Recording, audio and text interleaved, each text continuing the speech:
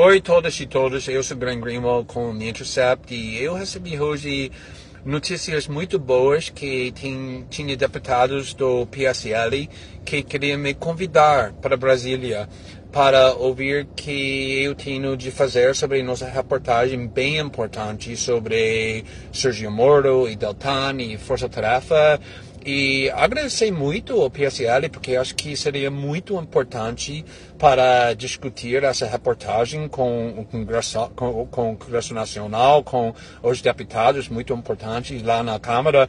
Eu fiz isso duas vezes durante nossa reportagem sobre Snowden. Eu fui para o Senado brasileiro, foi muito, muito construtivo para discutir ou reportagem que estava fazendo, muito importante para o Brasil naquela época, e também estava muito feliz para essa oportunidade de fazer isso de novo, porque acho que o público deve ouvir tudo sobre que estamos reportando.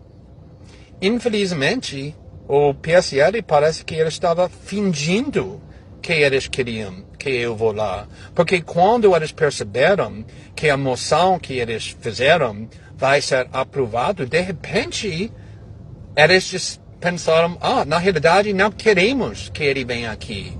E eles retiraram o convite que estava muito pronto a aceitar, estava fazendo minha mala, estava muito pronto para ir para Brasília para discutir isso tudo com eles. Por que eles tinham esse medo?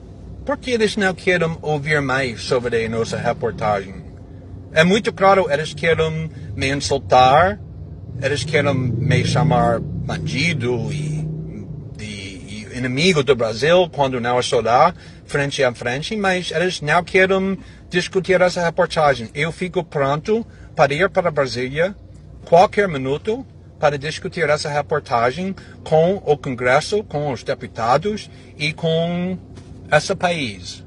Então, até logo, obrigado e eu espero que PSL muda de novo como eu estou pensando e dá essa convite mesmo. Tchau.